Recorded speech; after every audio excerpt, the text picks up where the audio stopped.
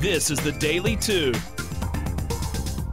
Hi, I'm Shannon Walsh with the Daily 2. Joining us this Memorial Day is Jackie Polisi, family safety advocate from Montlick and Associates, and the firm's Director of Community Programs, Melinda Jeffress. A warm welcome to you both. Thank you so very much. Thank you, Shannon.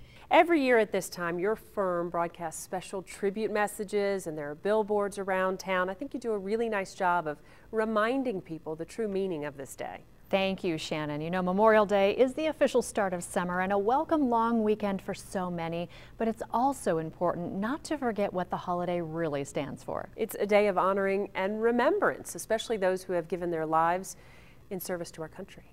Yes, we've gotten to know some really special military families over the years, and we know how much it means to them when we pay special tribute to their loved ones who died in service.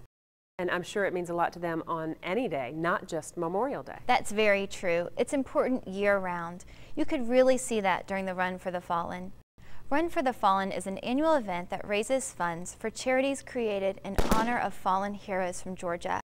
And it's incredibly moving to see the race route lined with all the special tribute signs and to see the family members standing there cheering everyone on. Yes, it's such a wonderful event.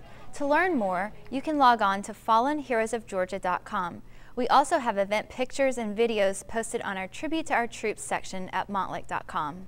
Thank you both so much for your time today.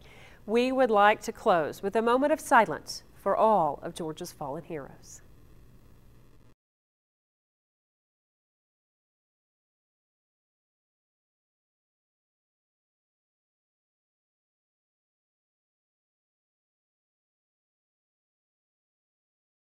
For more Daily 2, go to WSBTV.com slash Daily 2.